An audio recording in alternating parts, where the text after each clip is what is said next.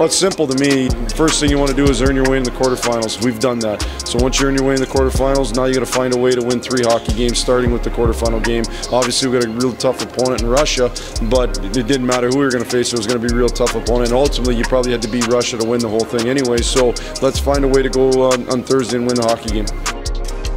I think the biggest thing is for us to defend, um, you know, make smart decisions with the puck.